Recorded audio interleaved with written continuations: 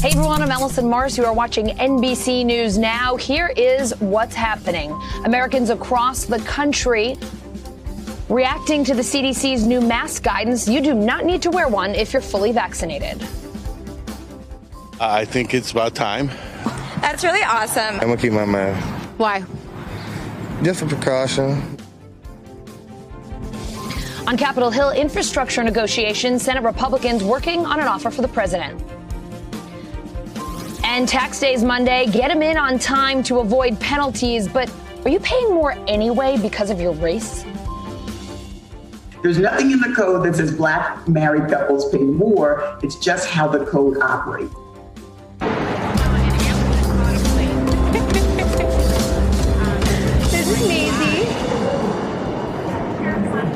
We start with the latest mask guidance from the CDC and what Americans think of it today. NBC News political correspondent Ali Vitale is in D.C.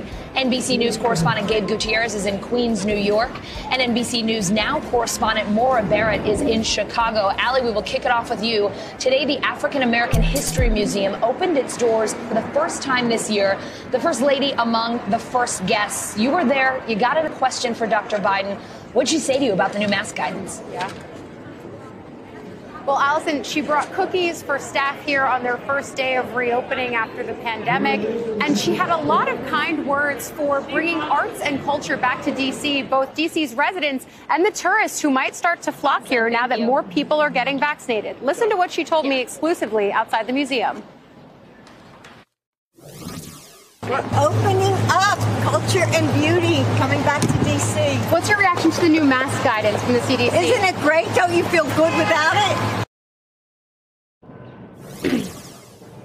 Now, Allison, some folks echoed what Dr. Biden said there that they feel great about these new mask guidelines, especially as it relates to not wearing a mask outside if they're fully vaccinated. That being said, I did talk to some people who said, okay, I feel comfortable outside, but when it comes to inside, even though they're fully vaccinated, they said that they might prefer to continue wearing their mask, whether it's because they're habituated to wearing it after the last year or because they just want to take an extra precaution, either because they don't know if the people around them are vaccinated or because they just want to make sure that they keep themselves safe. I think it's a really good reminder, Allison, as we're all walking around trying to acclimate to this new version of normal that you can't just flip a switch Yeah. and issue new guidance and expect everyone Right. to get on board immediately. People need some time to adjust. That's definitely the message I've been getting out here on the National Mall as I've been talking to folks. Yeah, Ali, you're hearing a lot of the same thing from folks that they're just not sure, even if their reasons may be different. Uh, what is DC doing about this new guidance? Are they making changes? Well, Allison, that's why it's guidance. It's not a hard and fast policy, and states and Right. localities do have to play catch up here. I want to show you a tweet from Mayor Bowser, the DC mayor, yesterday, in which she said that DC, consistent with past practice, is immediately reviewing the CDC guidance and will update DC health guidance accordingly. Even just consider, Allison, that here at the museum today, folks who were waiting out in line outside to get in, they didn't have to wear a mask. But as soon as they went inside, because of Smithsonian rules as well as because of DC rules, they had to put their masks back on. Now, that could change as soon as DC decides to change its mask mandate rules. But for now, this is the reality of what it is. I will say, though, it didn't put a damper on any of the excitement here. I was talking to the museum's director. He was hired during the pandemic. This is actually his first day of being allowed to be in the museum with actual people seeing all of the powerful exhibits in there. It was a really exciting day for him and a lot of the staff that we saw, that we talked to. Oh, no doubt. I mean, Ali, that's what it's all about, right? Uh, people actually being able to be Yeah. there and enjoy it. That's a great day. Gabe, you're in Corona, Queens, uh, which not only shares the virus's name, but was also hit so hard by it. Uh, what's the reaction there? Uh, hey there, Allison. Well, as you can see behind me, there are actually a lot of people here at this street market, a lot of street vendors, and we have been seeing still wearing, we're seeing people still wearing their masks. Um, there is a, a lot of relief here, but also a lot of skepticism, a lot of caution. Actually, right here is a uh, mobile vaccination clinic where people are signing up to get their vaccine. Walk-ins welcome, no appointments necessary. And this community actually has about 28% of its population in this zip code, only about 28% that have been fully vaccinated. We spoke with a local doctor here who was actually caught off guard, very surprised by the updated CDC guidance, and he also had some concerns. Take a listen. I was very surprised. I was I was very taken aback, and I am. I understand where the CDC is coming from. We know that the vaccines work, but at the same time, we're not there yet. We don't have the herd immunity. We don't have the community immunity that we quite need. We're not there yet. So yeah, that was one of uh, several people we spoke to today. That for them, it does seem as a bit of a shock, Allison. Now, this community again, about 28% of its population in this zip code is vaccinated, but it was devastated just so much uh, by this pandemic for more than a year. You know, these street vendors have popped up, but many of them have been so financially devastated, and they say it's going to take them a long time to cover to recover. Still, there is some sense of relief here, Allison. Gabe, as Ali pointed out, this is just guidance, right? Uh, so the states and, and the cities, it's up to them to figure out what they want to do here. So how about Mayor de Blasio or Governor Cuomo in New York? What are they doing uh, about this new mask guidance so far? Yeah, they similar situation here in, in New York, as well, New York State, as well as New York City. Both Mayor de Blasio and Governor Cuomo say that they will review the guidelines here um, because masks will still be important for uh, schools, for public transportation. We're right by a subway line here, many people commuting uh, to and from work, so they have not dropped all the mask requirements uh, indoors here in New York as some other states have, but it's something they're taking a look at right now, Allison. All right, let's go to Maura, who's over in Chicago. Uh, Maura, what do folks think there uh, about the new mask guidance? Are they into it? Are they unsure? What are you hearing?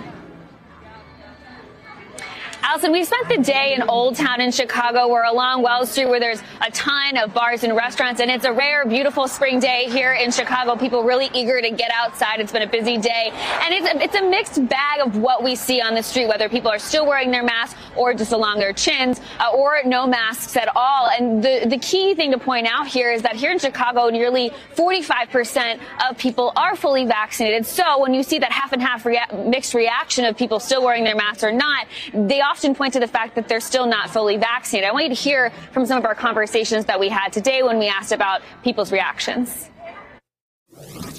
So, honestly, I think it's just more of like a personal opinion. I do understand that people are still at risk, and I think people should be respectful of that as well.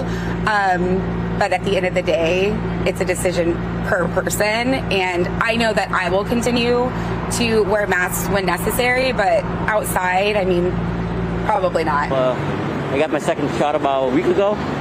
Uh, I'm, all, I'm all good. Uh, but I'm still a little bit nervous to be out in the public. I still have my, my, my mask on, otherwise uh, it's mask off, you know, during uh, when you walk on, on the street. Um, yeah, so I feel pretty good about it. Very happy about no more masks. I think it's about time I'm fully vaccinated, so let's go for it. Yeah. And everybody enjoy definitely an overall or overarching feeling of excitement here in Chicago. Remember, they never fully reopened businesses even last summer because of the abundance of caution. The mayor now saying that by July they want we want Chicago to be fully reopened. People really looking forward to that, and this was a surprise added step to, to getting there, Allison. All right, so Maura, I have to ask you the same question. What are the city's plans about its mask guidance? Uh, any updates to it yet?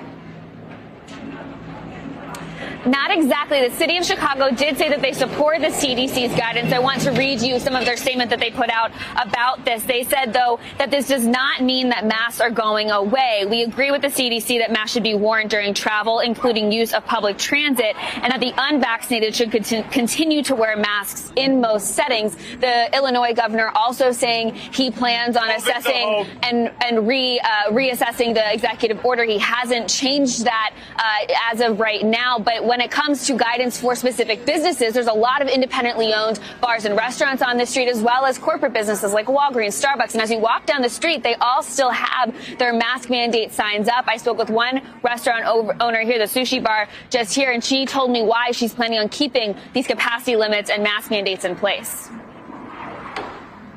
All right, Maura, Gabe, Ali, thanks to the three of you for giving a sense of how people across the country are feeling about this new mask guidance. Uh, great weekend to all three of you.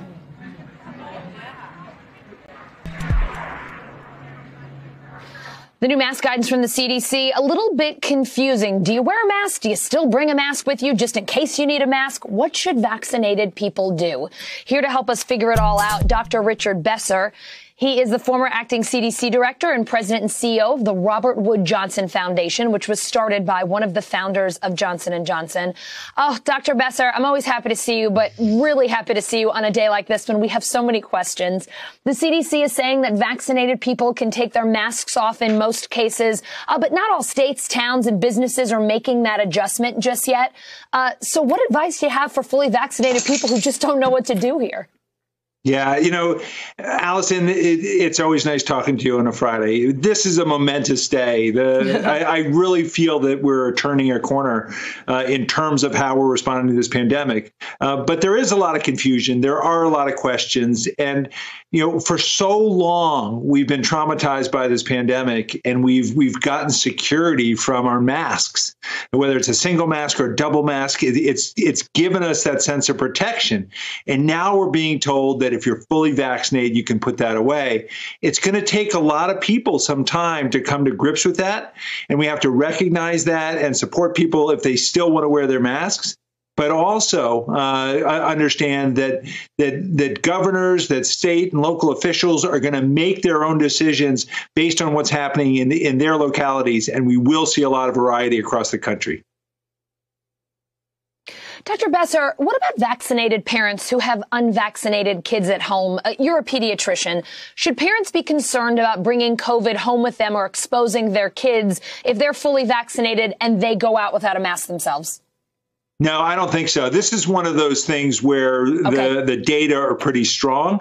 If you're fully vaccinated, mm-hmm. um, even if you're you you become infected, um, the chances of you spreading this to someone else are very very low. They're not zero, and so if you can't deal with a non-zero level of risk, um, you can continue to wear your mask. The CDC is not saying to people don't wear a mask. You can't wear a mask. So if right. if your level of comfort is such that you want to wear a mask, keep keep doing so. The, the, the piece of this that's really important to remember, and it gives me a lot of hope as a pediatrician, mm-hmm. is that the younger kids mm-hmm. are, the less likely they are to have severe disease, the mm-hmm. less likely, thankfully, they are to, to be hospitalized or to die from this. And so, you know, the fact that we've now got vaccines down to age 12 gives me a lot of comfort. Kids younger than that tend to do very mm-hmm. well if they get infected, but parents who are fully vaccinated are not a real threat to their children. That's not something I think parents need to worry about. Great to know. Uh, important stuff as well, uh, Dr. Besser, for parents who are worried. All right, I have to ask you about some breakthrough cases that are making headlines. I think you know I'm a pretty big baseball fan. Uh, the New York Yankees say eight of their fully vaccinated team members have tested positive for COVID, including shortstop Gleyber Torres. Uh, the team says all eight got the J&J vaccine.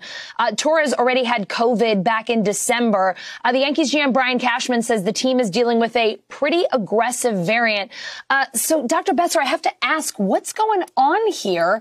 Uh, is this a J and J issue or something else? Uh, we we've kind of had this understanding that breakthrough cases are rare, but that's a that's a whole lot of guys in the Yankees. Yeah, so so here's here's the important thing to recognize with this. We mm-hmm. vaccinate not to prevent all infection. We vaccinate to prevent serious infection, hospitalization, and death. And so, you know, when you have a program in place that is testing people, regardless of whether they have symptoms, you are going to find some people who get mm-hmm. infected. And thankfully, uh, we're not hearing from the Yankees that people were sick or people uh, people required medical care. Right. So this this supports the idea that vaccines are effective. Uh, you know, Bill Maher, the the comedian as well, tested positive but had no no symptoms. Yep. He was in a setting where there was a testing program in place. So we're going to have to get used to that piece of it and remember that the reason okay. for vaccination, when we talk about vaccines being 95% effective, they're 95% effective against hospitalization and death and, their, uh, and, and, other forms of serious infection, not against okay. all infection, uh, uh, you know, getting that virus okay. at all. You bring up Bill Maher, and I wanted to ask you a, question about him. He canceled the show tonight. He says he's tested positive, even though he's fully vaccinated. He tweeted, uh, "Thanks to all wishing me to get well. Hard to do since I feel perfectly fine, but I appreciate it." Uh, Dr. Besser, uh, Maher is asymptomatic, as are several of the Yankees. If you are vaccinated, you test positive for COVID, and you don't have symptoms, do you need to be worried about spreading the virus to others, especially if they're unvaccinated?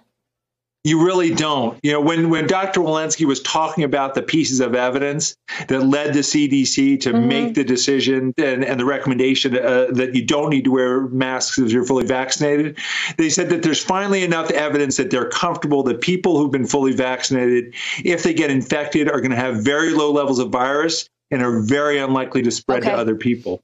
Now, if if you're in a setting where you're okay. living with someone who's at, at, high risk for serious disease, um, you're going to want to wear a mask in, the, in, mm-hmm. in, that setting. So you, you want to not generalize to everybody. And if you have special medical right. conditions, you should really talk to your doctor mm-hmm. before you decide to mm-hmm. to put your mask away.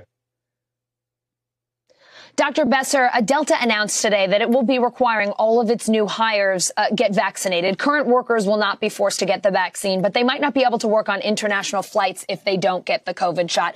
Do you think that's a good approach? Uh, and what should passengers uh, know here uh, when they're flying? Well, you know, this just points to to really what all businesses are struggling with. You know, so many people have been working remote, yeah. not the airline industry because you can't. But the question is, do you require that all of your employees who come in are fully vaccinated? Uh, if not, how do you ensure the safety of others in the in, in the workplace?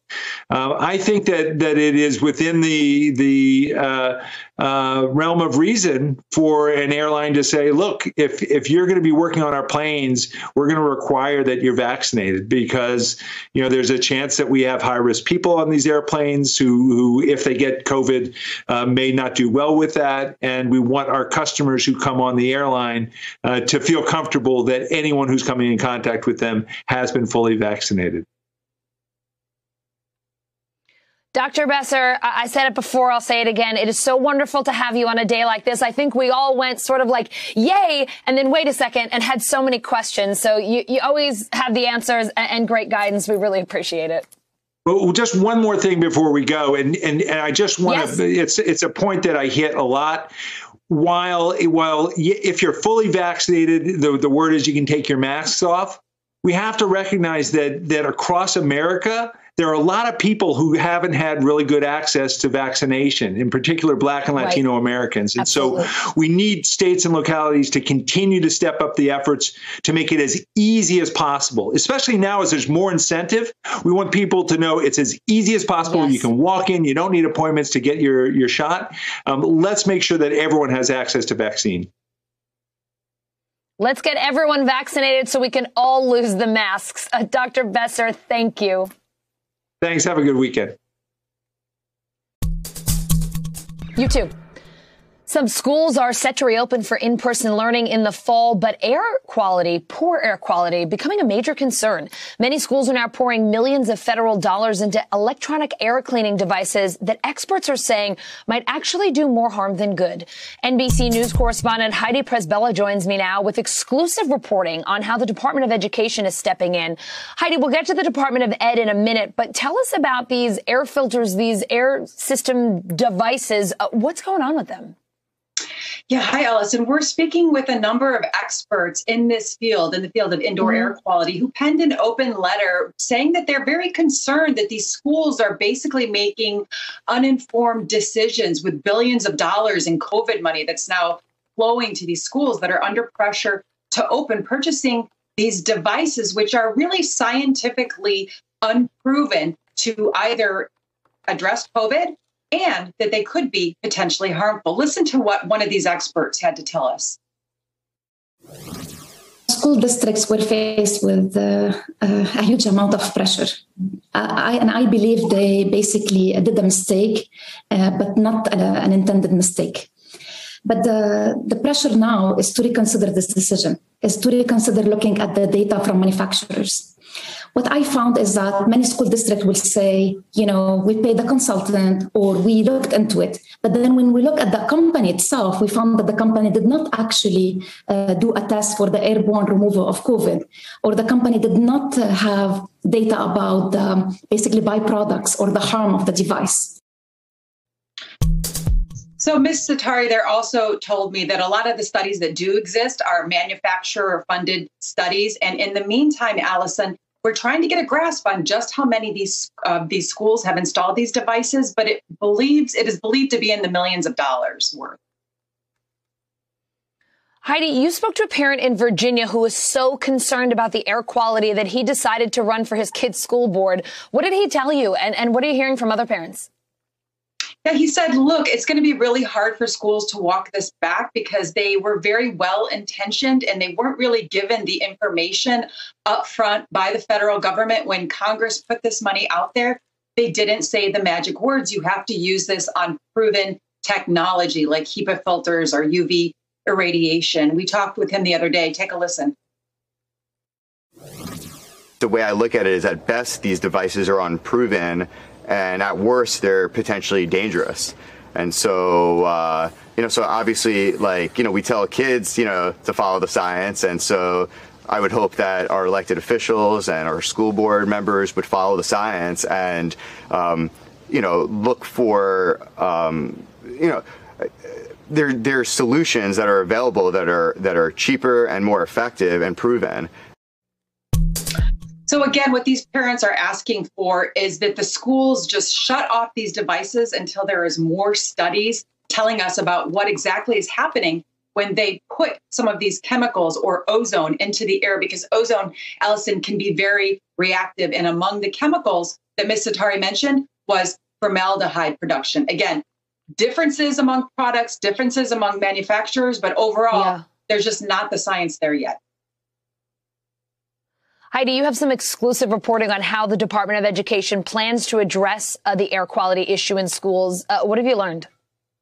Yeah, Allison, the Secretary of Education did speak with us exclusively and said that he is linking arms with the CDC and with the Department of Health and Human Services to try and address this issue. So we should expect some guidelines, uh, more guidelines later this month. But here's the problem the Department of Education can't really recommend one product over another, even though we know HEPA filters, UV irradiators, those are the proven products. So all they can do at this point is really offer guidelines. And again, these products are being hard sold to a lot of schools that are desperate to find solutions to clean the air as they welcome back students, many of whom are not going to be vaccinated potentially by the time, especially the younger ones, they go back to school. Heidi, more great reporting on the concerns about kids going back to school, particularly when it comes to the air that they're breathing. Thank you so much. Thank you. Let's go to NBC News Now correspondent Simone Boyce. She has the latest headlines from NBCNews.com, and they are the Friday edition, which, as you know, are our favorites. Simone. These weeks are flying by, Allison. I can't believe it's already the Friday edition again. And we're going to kick things off today with some news from Delta, the company announcing it will require all new hires to be vaccinated. This makes Delta one of the first major corporations to implement a vaccine mandate. Now, current Delta employees will be exempt from the policy. However, they may face some restrictions, like not being able to work on international flights. And in Oklahoma, two contractors have died in an explosion at Kerr Dam. A spokesman for the Grand River Dam Authority saying their bodies were recovered this morning. Now, a third contractor was with them when it happened Thursday night, but was able to get out. The Dam Authority does not yet know the cause, but says there may have been a pocket of natural methane gas where workers were drilling. And in India, 18 wild Asiatic elephants were found dead in a forest reserve. Officials saying the sudden deaths may have been caused by a massive lightning strike, pointing to evidence of burnt trees in the area. But examiners are waiting for forensic tests to see if there are any other possible reasons. And a Florida judge ruling two deputies who were fired for their inaction during the 2018 Parkland mass shooting at Marjory Stoneman Douglas High School will be getting their jobs back with back pay and other benefits. An arbitrator has not yet ruled on the case of a third fired deputy. and a cat in Chicago using one of its nine lives. Take a look at this the cat jumping out of a fifth floor window from a burning apartment and surviving. There, there you have it, folks. The Chicago Fire Department caught it all on video. The cat just missed a wall as it came down and somehow landed on all four paws on a bed of grass. See, Allison, this is why I do not trust Oh my cats. gosh. Uh, Simone, I saw that cat going out the window. I'm like, after the dead elephants, we can't show a dead cat. Oh my God. Oh my gosh. We didn't show a dead cat because it lived. wow. Close one. Thanks, Simone. Israel sending ground troops to the Gaza border as it launches more aerial attacks. At least 126 Palestinians and eight Israelis have died in the five days of fighting, including in the West Bank today. 31 of them Palestinian children, one an Israeli child. NBC News global correspondent Raf Sanchez has the latest. Allison, that operation the Israeli military launched last night was the most intense assault on Gaza we have seen yet. Artillery, tanks, aircraft all brought to bear to attack a Hamas tunnel network. That's according to the Israeli military. But those Israeli ground forces did not actually enter the Gaza Strip, and that is the big question looming. Will Israel launch an all out ground assault like it did in the 2014 war? Now, back then, seven years ago, Israel launched that ground offensive against Hamas's tunnels. Tunnels that led from Gaza into Israel posed a serious threat to Israeli communities. In the last seven years, Israel's ability to counter those tunnels has really improved. New technology, a huge barrier all the way around Gaza. So Israel may feel less need this time to send in ground troops. Now, conditions for civilians on both sides are horrible, but let's be honest, they are worse for civilians inside Gaza. This is one of the most densely packed places on earth. Two million people with nowhere to run, nowhere to hide. We have been hearing from parents inside Gaza who are terrified for their children. Israeli warplanes are overhead at all hours of the day. There are explosions all around them, and they just don't know what to do to keep their children safe. Should they stay at home? Should they go to a relative's house? The reality is they could get lu- unlucky Either way, at least 31 children have been killed in Gaza so far, and that number is likely to rise. Now, conditions also terrible for Israeli families all across the south of the country. They have been spending nights in bomb shelters, holding their children close, and hoping that Israel's Iron Dome missile defense system will keep them safe from these rockets being fired indiscriminately by Hamas towards Israeli cities. The votes are in. Elise Stefanik is the new House Republican Conference Chair. I believe that voters determine the leader of the Republican Party, and President Trump is the leader that they look to. Uh, I support President Trump. Uh, voters support President Trump. He is an important voice in our Republican Party, and we look forward to working with him. NBC News Capitol Hill correspondent Garrett Haake live for us from the Russell Rotunda. Uh, Garrett, how did this vote go down, and what else did Stefanik say today? Allison, this was the expected ending after more than a week of drama here about the future of Liz Cheney and the House Republican Conference. Stefanik won what was a secret ballot vote pretty handily by more than 100 votes over her closest competitor, uh, conservative challenger Chip Roy from Texas. And afterwards, she and the other Republican leadership were preaching unity, sort of. Here's what she had to say. Liz Cheney is a part of this conference. Adam Kinzinger is a part of this conference. Uh, they were elected and sent here by the people in their district. They are part of this Republican conference. We are unified in working with President Trump. My job representing our Republican members, the vast majority, we will look forward to working with President Trump. Yes. Have you talked to Liz Cheney since the events of this week? I have not. So you get about half credit there for Elise Stefanik. It is true that the majority of House Republicans are unified on this idea of working with former President Trump. Uh, you heard it from her there time and time again. That is why House Republican leadership wanted to make this change. But the Liz Cheneys, the Adam Kinzingers of the world, still on the outs, but still in the party and probably still perfectly willing to speak up against the former president. Yeah, Garrett, House lawmakers reached a bipartisan deal today on a January 6th commission. Uh, what will that commission do? And do you have any idea who might be on it? This is a big breakthrough. This has been stalled for months, and now we're going to yeah. see a commission of 10 people picked by a combination of the various House and Senate leaders. We don't know who they'll be, but we know that they have to be uh, law enforcement professionals, and they can't be current or, or yeah, they cannot be current officials, government officials uh, in any capacity. They'll have subpoena power, and they've got a deadline. They'll be expected to produce a report on the January 6th insurrection by the end of this year. That bill could be voted on in the House as early as Wednesday of next week. Garrett, I'm hearing Minority Leader Kevin McCarthy is saying that he never signed off on that deal. What's his particular issue here? What's going on? McCarthy doesn't like the scope of this. He has wanted for some time okay. to see more things included in this commission rather than mm. less. Here's a little bit of what he told reporters when he found out about this bipartisan deal earlier today. You want to make sure that the scope that you can look at all that, what came up before and what came up after. So that's very concerning to me. You want to make sure that the ability that there's no findings prior, then why do you have the commission make it political? Now, the language in the legislation is a little bit amorphous. It talks about other things that might have influenced January 6th. If you take a liberal definition of what influence means, that might allow McCarthy to get to the scope he's looking for. But you'll have an even number of Republican and Democratic commissioners involved in this. So uh, they'll have an opportunity, I think, to look at what they want to look at. All right, Garrett, thanks so much. I know it's been a busy week on Capitol Hill. I hope you get some time to enjoy the weekend. No kidding. Thank you. President Biden out and about with no mask on today. His first full day on the job mask free. NBC News White House correspondent Monica Alba joins me now.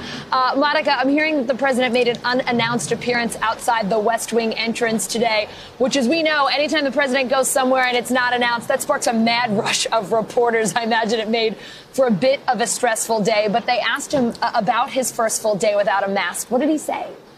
That's right, Allison. The president was taking photos with an outgoing senior staffer and her family. And of course, everybody then noticed that uh, an unusual visitor walking around the grounds and, of course, came out to try to speak with him. And it was exactly that issue that is the most prominent visually now that we know the president doesn't have to wear a mask anymore, given that CDC guidance. A reporter did ask him what it felt like for his first full day without a face covering and whether he was enjoying that. And he responded, with a very emphatic yes, like I think many of us can attest, even though this is still taking some getting used to. But this was a president who didn't have anything open or public on his schedule today. He was doing everything behind the scenes instead. But it's one of those rare moments where when you're covering the White House, it's fair game, whatever's going on anywhere on the grounds. And there are these moments where suddenly the president walks out of the West Wing and there's a camera and a reporter there, and you're able to have an interaction like the one we just played. He's on the move, and so you are too. Uh, Monica, I know the president met this afternoon with six DACA recipients today uh, who work in healthcare, education, agriculture. What did he say about getting legislation for the Dreamers through Congress?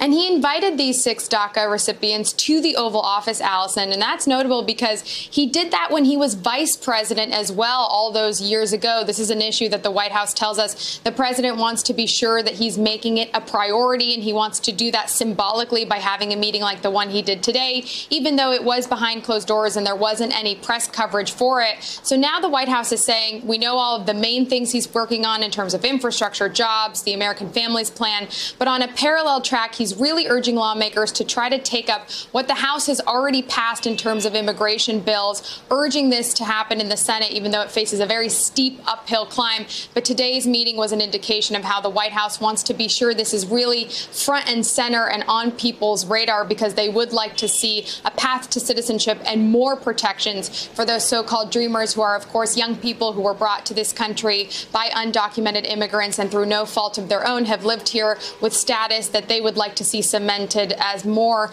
given all that they contribute as well to our society, Allison. All right, Monica Alba with the latest from the White House this Friday. Thank you. It's time for the bottom line, our daily look at what's going on in the business world and beyond. No better place to start than the markets, ending the week on a high note. The Dow closing up 360 points today. Uh, stocks, particularly tech stocks, bouncing back for a second day in a row. So let's bring in our favorite Friday financial guest, Investopedia editor in chief Caleb Silver. Caleb, the markets have been absolutely all over the place this week, and tech in particular has taken a beating, though it is bouncing back as we head into the weekend. So, uh, what's up with stocks right now?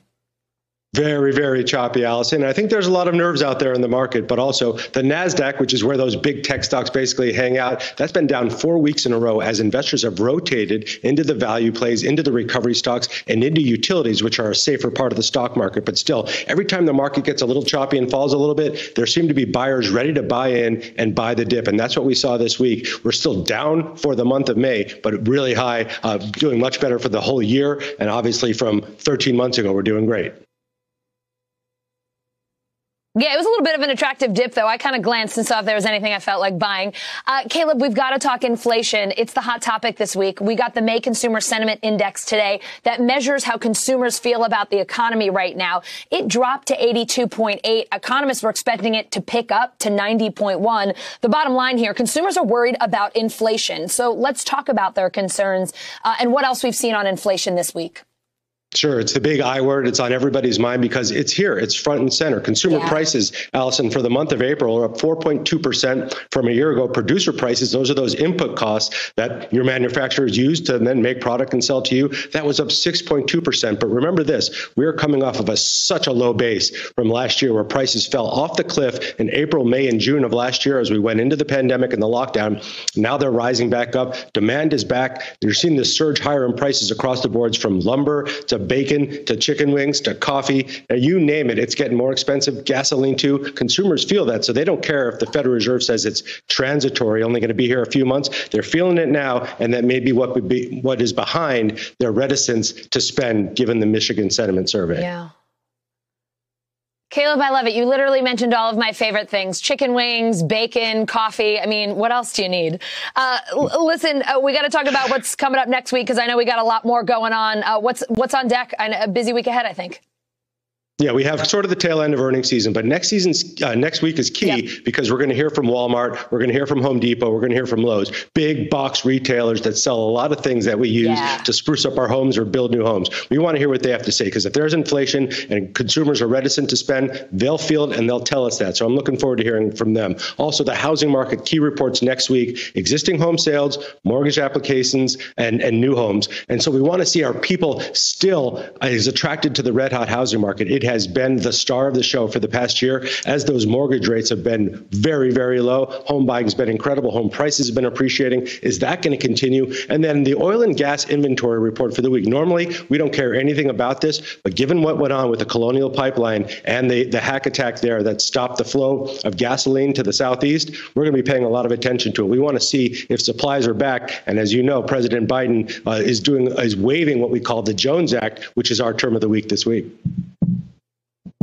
I was going to say, we're not letting you go without the term of the week. We didn't forget about it. The Jones Act. What's that? And why should our viewers care about it?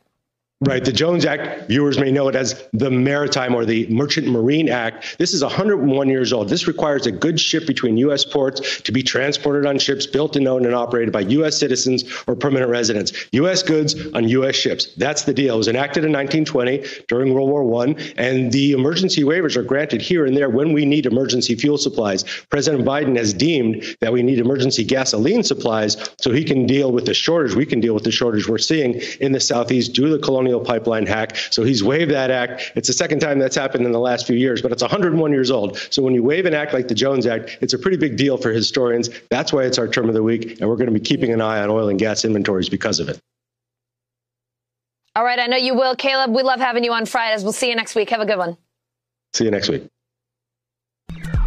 Taxes are due on Monday. If you forgot, you're welcome. But is our current tax code putting black Americans at a disadvantage? NBC News Now correspondent Simone Boyce takes a look. As part of his $1.9 trillion stimulus bill, President Biden expanded the child tax credit, increasing it from $2,000 to $3,000 per child for 2021. But some Democratic critics of the tax credit argue it unfairly advantages two parent households. The way the proposal has been structured, which is the way we've always structured proposals actually, is to disadvantage single parents. It's really a single parent penalty. It's true. Biden's tax credit would affect single parents differently.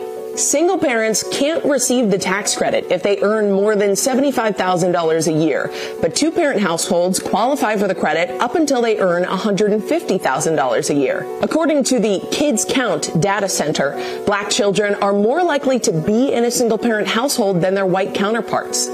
This disparate impact on single family households is just the latest in one of the many ways U.S. tax law unequally impacts black and white Americans. When black Americans and white Americans engage in the same activity, like getting married or buying a home, the tax law subsidizes how white Americans engage in the activity, but disadvantage how black Americans engage in the exact same activity. Dorothy Brown is a professor of tax law at Emory University. Her book, The Whiteness of Wealth, looks at the ways that tax policy tend to benefit white Americans more than black Americans. Take the joint tax return, for instance. That's where instead of filing separately, a married couple files one tax return together. For couples where only one spouse works or makes substantially more income, the joint return provides a lower marginal tax rate on the shared income. But that doesn't help two income households as much. In effect, couples where both spouses work, it is as if one spouse's income is stacked on top of the other so that they're subject to a higher marginal tax rate than if they had remained single. Even in 1948, when the joint return became law, an overwhelming percentage of white wives were stay at home, like 80%. However, that wasn't the case for black wives. Black women, ever since we came to this country enslaved, have worked outside of our homes. But once slavery was abolished and we now have wages that black wives can receive, we know they're more likely to work than their white peers. As a result, black married couples are more likely to not get a tax cut when they get married, and for decades, we're more likely to pay higher taxes because husbands and wives in black marriages earn roughly equal amounts. There are married black couples that get a marriage bonus. They're just small as a percentage. There's nothing in the code that says black married couples pay more. It's just how the code operates. But the marriage bonus is not the only thing in U.S. tax law that disproportionately benefits white Americans. If I sell my home at a gain and I'm married, up to half a million dollars of that gain I can receive tax free. If I'm single, I can receive $250,000 of it tax free. If, however, I sell my home at a loss, I don't get any tax benefit from that loss.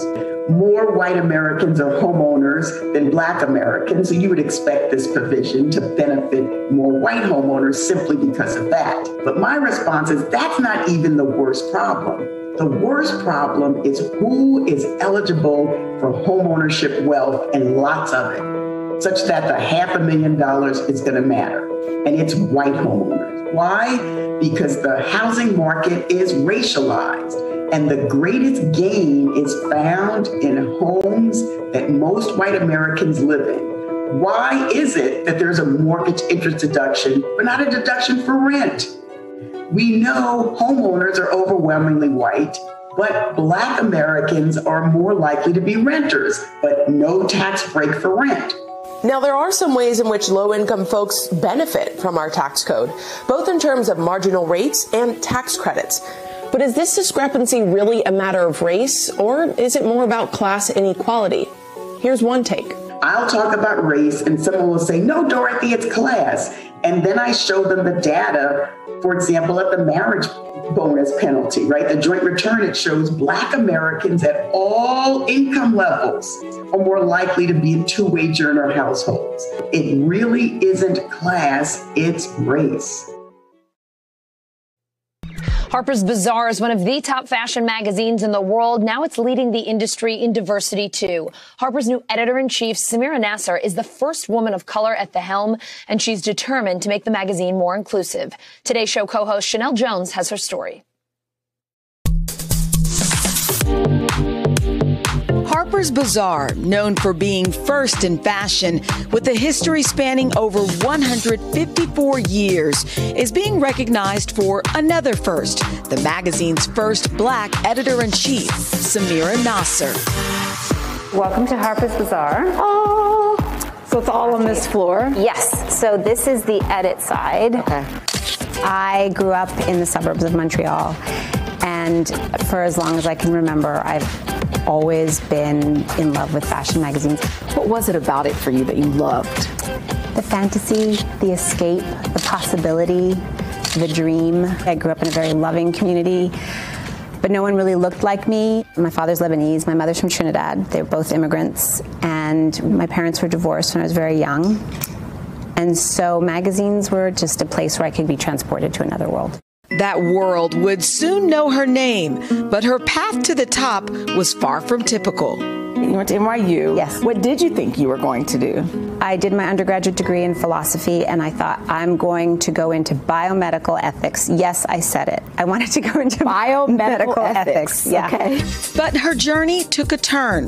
An internship at Mirabella magazine opened her eyes to a new world. Did you have a moment where you were enlightened and you thought, you know what? This is where I belong? I remember as an intern being asked to be on set at Mirabella, but to just see how everyone on set worked to create these images and, and the creative energy, it was exhilarating and thrilling and something that I wanted to lean into and follow. And that's exactly what she did, landing jobs at American Vogue, Allure, Elle, In Style, Vanity Fair and then a phone call that changed her life. When did you know for sure that you would be the next editor in chief? We were in lockdown. I was in Prospect Park with my son, and I got a, I got the call. My son was like, Mama, get off the phone. And I was like, I need a minute. The journey in the fashion industry probably wasn't necessarily easy. No. Did you ever feel like a fish out of water? Did you ever feel out of place? Or did All you always time. Yes? I love this industry. This industry has afforded me a beautiful life and I've traveled and I've grown and I've learned so much.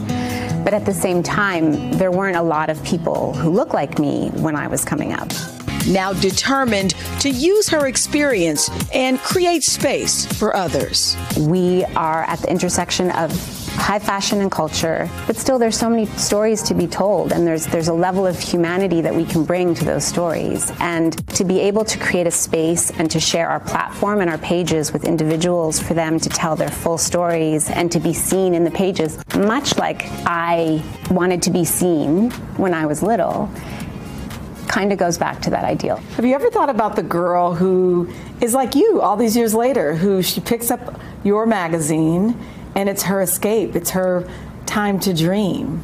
You're going to make me cry. I do.